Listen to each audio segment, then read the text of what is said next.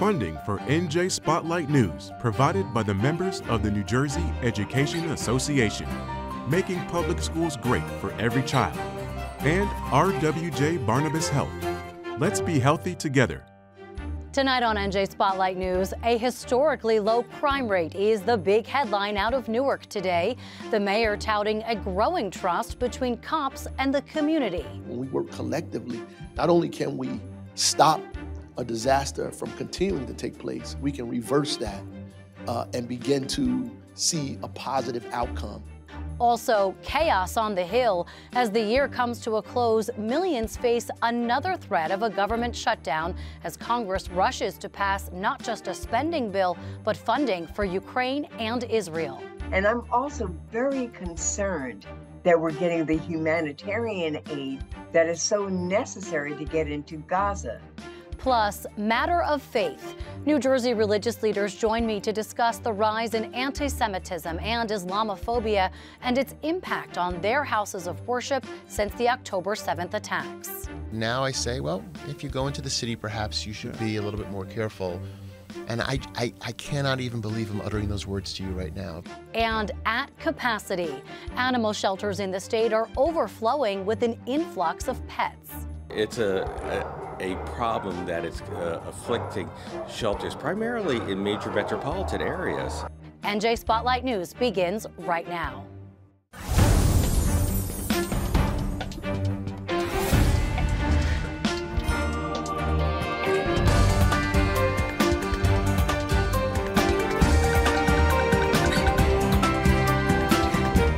From NJPBS Studios, this is NJ Spotlight News with Briana Vannozzi.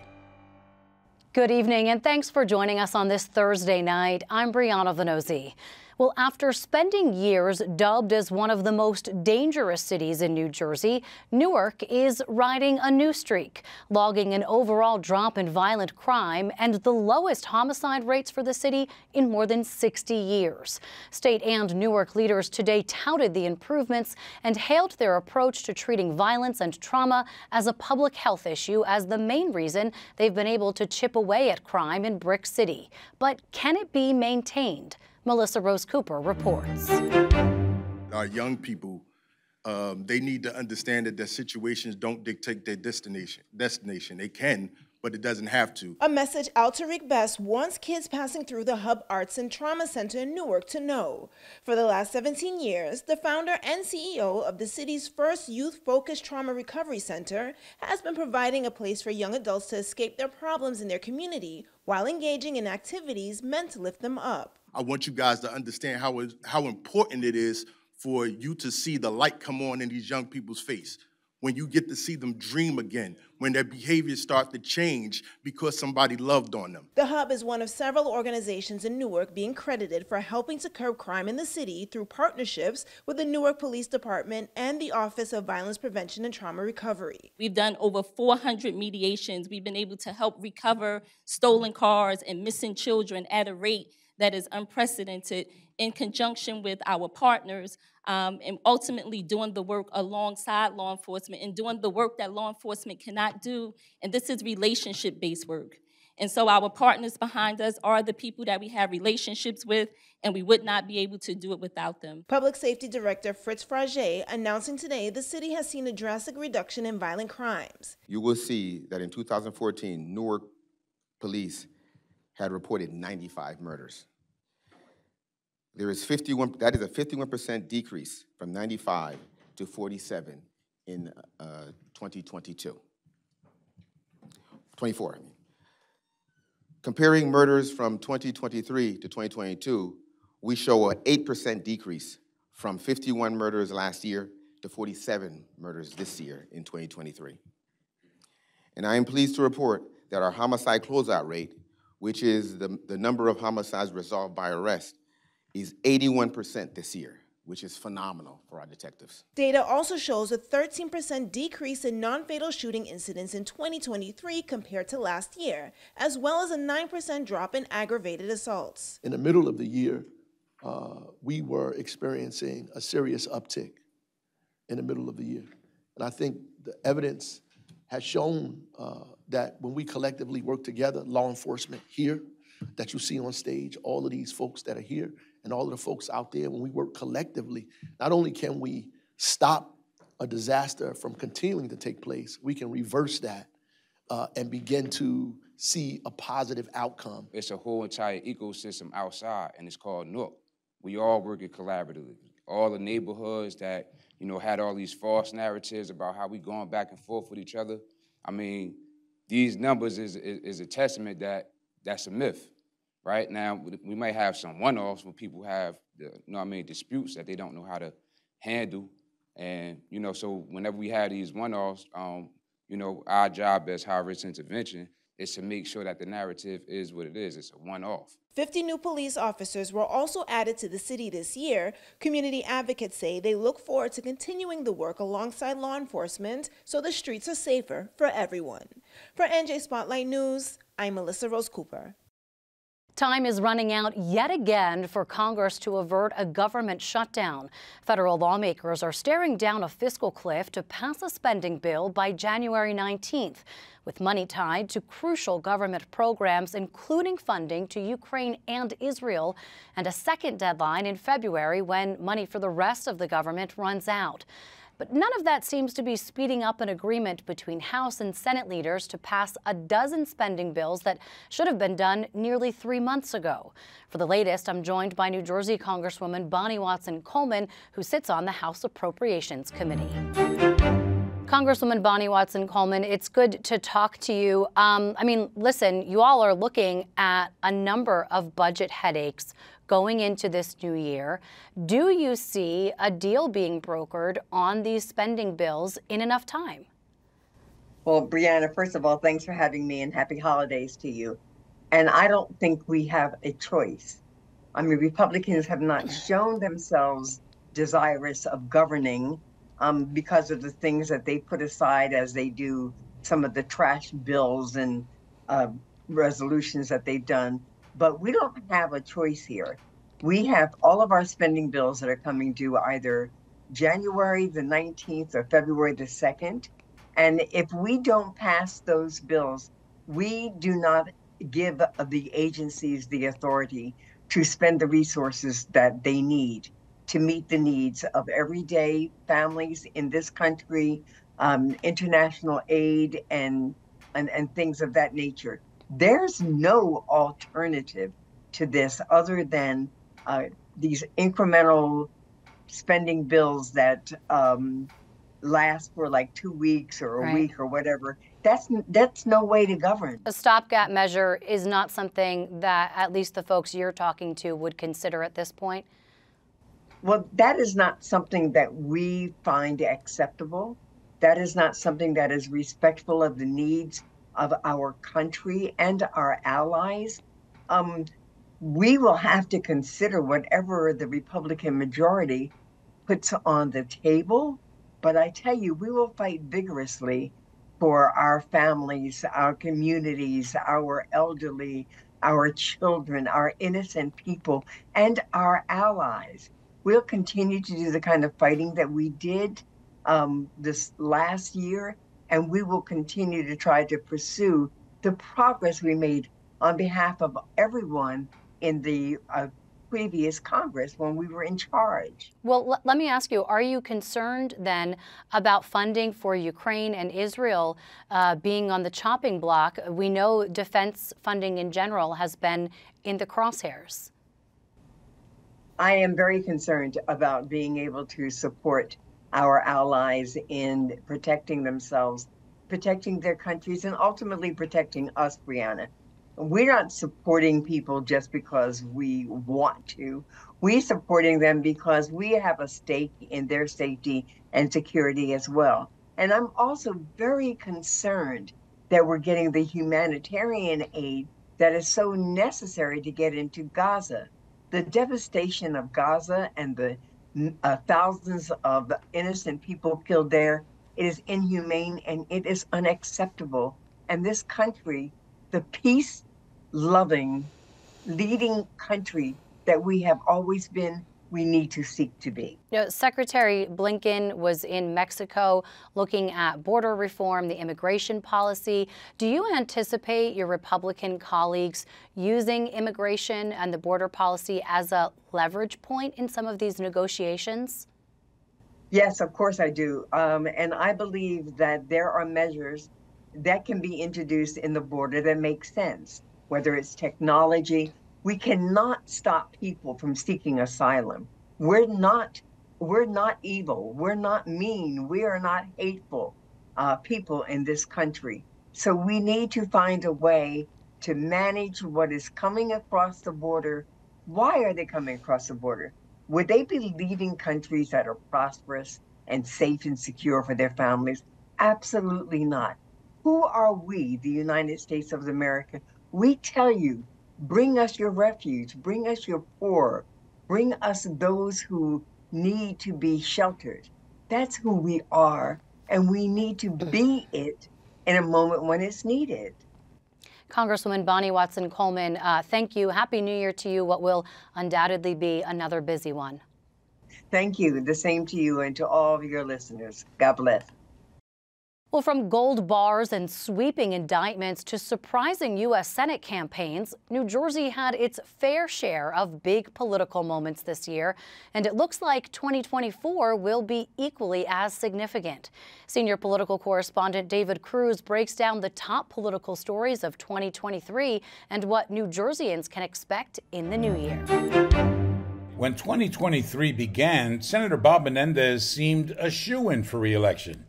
Democrats' big concern was the potential for a red wave in November's legislative elections. But then. On Friday, the Southern District of New York brought charges against me. And that kind of changed everything, with Democrats calling on Menendez to resign and the senator apparently unelectable would be successors emerged quickly. First, Congressman Andy Kim, and then First Lady Tammy Murphy, putting the Murphy legacy and the county party line on trial if anybody can make a run at the county organizations, it's going to be a well financed, well known, um, uh, uh, well liked candidate like Andy Kim. If anybody can put a dent in him, he can. Republican strategist Chris Russell knows how important the county line is. Candidates on the line almost always win on paper. On paper, like you said, she's she's going to have you know an all out attempt here to hand her all the lines uh, or most of them. Uh, I, I've said this from the beginning, uh, having been uh, on the other side of a campaign with Andy Kim in 2018 when I worked with Tom MacArthur and we had a, a very, very tough race that Andy ended up winning by about a point. Uh, do not take this guy for granted. The Kim versus Murphy primary is going to be the most interesting statewide race, according to most experts. Republicans would need Menendez to be the candidate in order to have a shot at the Senate seat in 2024.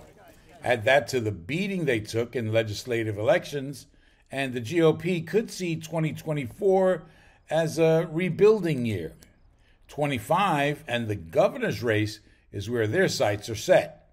Russell, who is a Jack Ciattarelli guy, says besides picking a candidate, the state's GOP is going to have to reckon with itself. I think the um, party will have a decision, a decision to make about you know where we want to go as a party in this state. Is it a Ciattarelli GOP or is it Jon Bramnick's or someone from the more conservative elements of the party who many still blame for the GOP losses in November? As for Jersey City Democratic Mayor Steve Fulop, who's been running alone until a few weeks ago, he seems unworried about fellow Democrat Steve Sweeney, who's just announced, or Mikey Sherrill or Josh Gottheimer whose enthusiasm for the race will also be determined in early 24 former Senate President Sweeney is in the mix. There's going to be other candidates, you know, we believe down the road, but I don't think it really changes what what what Mayor Fulop's going to do. I think he's going to continue to talk about, um, you know, how he sees that we can fix some of the big big issues going on in the state and how what kind of solutions he can bring to the table. I think that that some of these ha- House candidates, like Josh Gottheimer, like Mikey Sherrill, they've got a big decision to make first, which is are they even running for reelection in 2024, or are they going to try and focus all of their energy on the governor's race? The thing about these look ahead stories is that when it comes time to look back, you almost always end up saying, wow, I didn't see that coming. I'm David Cruz. NJ Spotlight News. As 2023 comes to a close, the war in Gaza continues raging. The Israeli military is targeting the central region of the Strip and warning residents, including those at the Al Bureij refugee camp, to evacuate to shelters.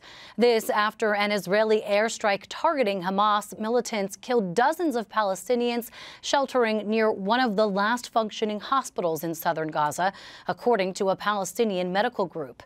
The World Health Organization says efforts to deliver medical supplies and fuel to the hospitals have been difficult, with starving, displaced, and desperate Palestinians stopping the convoys in search of food. Here in New Jersey, home to large populations of Jewish and Palestinian Americans, communities are figuring out how to confront the peril of this war, and we've launched a different kind of conversation looking at the issues.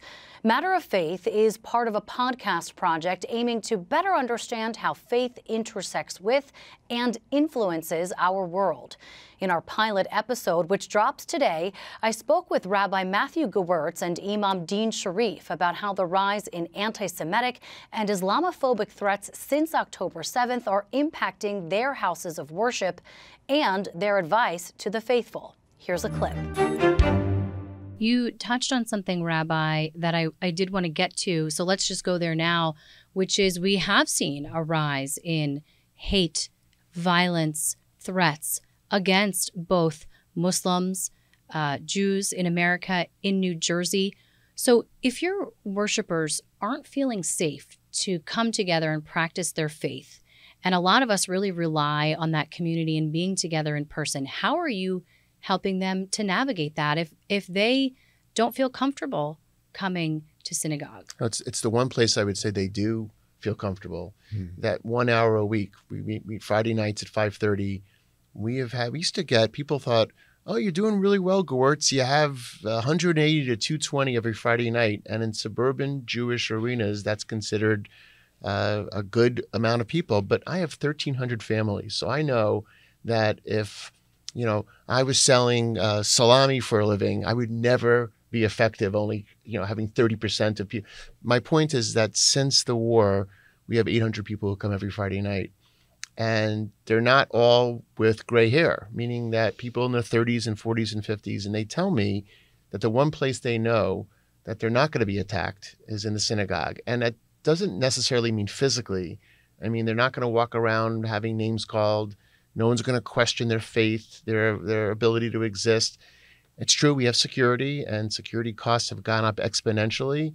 And we were, I'm not even sure if I told you this, Deen, the night before the holiest uh, day, not the holiest day, but Rosh Hashanah, the New mm-hmm. Year, we were swatted. We had a bomb threat, and we all had to leave eight minutes into services. Mm. So, are we safe? Probably not completely, but existentially, emotionally, spiritually, no one feels safer than they do in the synagogue with other Jews right now. I think there may be a false sense sometimes of safety in the in the house of worship, and like Matthew, the people feel more comfortable in the house of worship because they have a sense that the people that are there are not going to harm them. However, when you when you're when you're when you're in the city and you're traveling in the city, I even had to think about you know whether I wanted to wear this kufi, Correct. you know, today in light of the fact, of course, that the three Muslim men that were killed was shot at yeah. in Vermont yes. were wearing keffiyehs, right, which is a Palestinian scarf, right, and they were identified as a, as a result of wearing that scarf. The same thing is true with the kufi, when yarmulke as well. Yep. So, for the first time, I had to think about, you know, whether or not I was going to wear the kufi. I said, I'm going to wear the kufi because that's just something that I traditionally wear, and he knows that I I wear the kufi most of the time. However, I do warn women that they have to be very careful because if they're wearing a hijab, if they're wearing their, you know, the, the traditional dress of women, it's very easy for someone to spot them as Muslim women. So they have to be very cautious. And it does mean, and sometimes that you dress modesty, modestly, but you don't have to always dress in a way that is obviously a Muslim garb, right? It can be something that is modest and at the same time contemporary. So I tell the women that they have to sometimes be, they have to adjust their garments so that they can dress according to Islamic principles, but it doesn't necessarily have to be cultural. So asking them to scale back almost so as not to be a target. Yes. Is that what you're saying? Yes. Isn't that amazing? Yes. Well, this is not 1933. Mm. This is 2023. Right.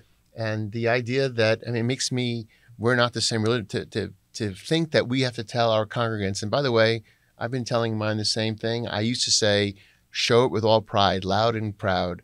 But now I say, well, if you go into the city, perhaps you should Yeah. be a little bit more careful. And I, I, I cannot even believe I'm uttering those words to you right now. Especially if they're by themselves. for sure, if but, they're by themselves. but you know, my, my, my parents who are both gone, the only time I'd ever say thank God they're not here is now, Mm-hmm. because my father was barely born in this country, and he didn't speak English till he was four. Was made fun of because he had a, a European accent until he was seven, and but all of it his parents did to fight for the right to not have this kind of behavior exist in America. They came here to run away from that, and look what it is that we're facing. And and Deen, what you just said before, your America in some ways has still not been the place where it needs to be. Right. You can find the full Matter of Faith conversation wherever you download our NJ Spotlight News podcast, available now. Listen and share. In our Spotlight on Business report tonight, the largest healthcare provider in Hudson County is urging state leaders to find $130 million in emergency cash for its three hospitals. That's Christ Hospital in Jersey City, Hoboken University Medical Center, and Bayonne Medical Center, all operated by CarePoint Health System.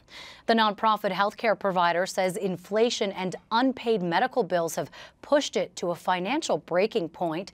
CarePoint recently launched an online petition addressed to Governor Murphy and top lawmakers calling for the state bailout. The Jersey Journal has reported CarePoint is being sued by multiple vendors for failing to pay for services. State officials have warned of financial woes at the three hospitals since at least October. Local Hudson County leaders are also joining CarePoint's call for emergency help. On Wall Street, stocks opened higher today with the major indexes looking to log one of their best winning streaks in years. Here's how the markets closed.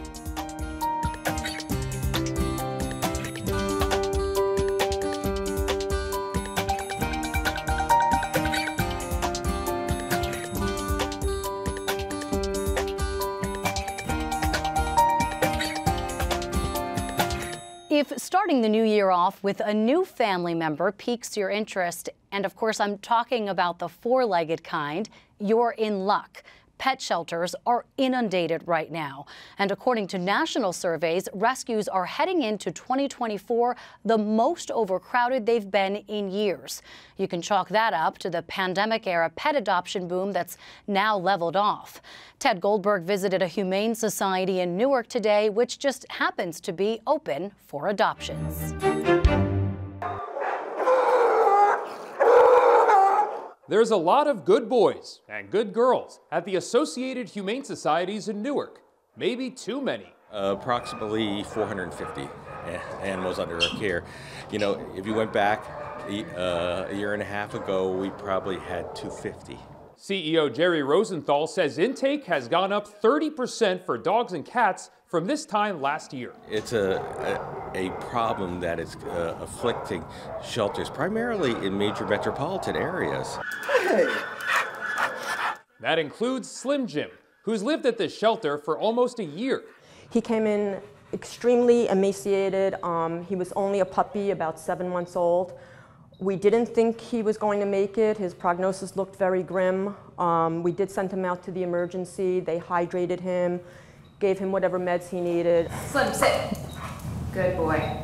Slim Jim beat the odds and went after recovery the same way he goes after toys and any food within striking distance. He always had that glimmer in his eye, like, I want to fight, I want to make it through, always wagging his tail, no matter how sick he was. It was slow, but he did eventually get better, and now you can tell you would never know he was once emaciated.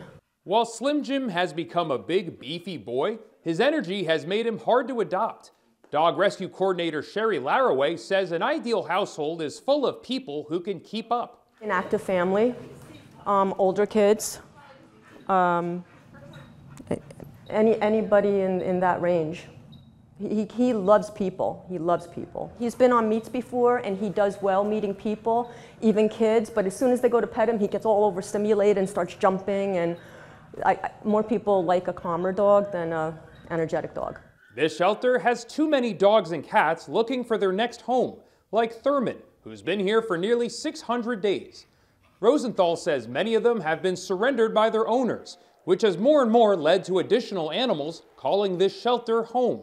Everything is much more expensive these days, too, you know, in terms of food, housing, and you know people have to make hard choices, you know, and you know unfortunately sometimes you know if they're moving and uh, their uh, housing arrangements and don't allow them to you know bring an animal there. There's been a few weeks where we got maybe 10 to 15 dogs out between rescues, adoptions, and fosters, and the very next day, like 15 or 17, sometimes 20 would come in. Rosenthal says the shelter is now working with community groups to help families who think they might have to give up their beloved pets, making it easier to keep their furry friends. People have made the mental decision to surrender their animal once they come here. So we need to get to them early, and, uh, and we, uh, we're doing that by partnering with uh, community food banks and also with our animal control officers who are out in the field, not just you know picking in stray animals, but you know stopping, doing educational seminars. These are pets that have been adopted from this shelter just in December. Rosenthal hopes to add more pictures soon, with animals finding their forever homes. In Newark, I'm Ted Goldberg, NJ Spotlight News. And that's going to do it for us tonight. I'm Briana Vannozzi for the entire NJ Spotlight News team. Thanks for being with us. Have a great evening. We'll see you right back here tomorrow. NJM Insurance Group, serving the insurance needs of residents and businesses for more than 100 years. And by the PSEG Foundation,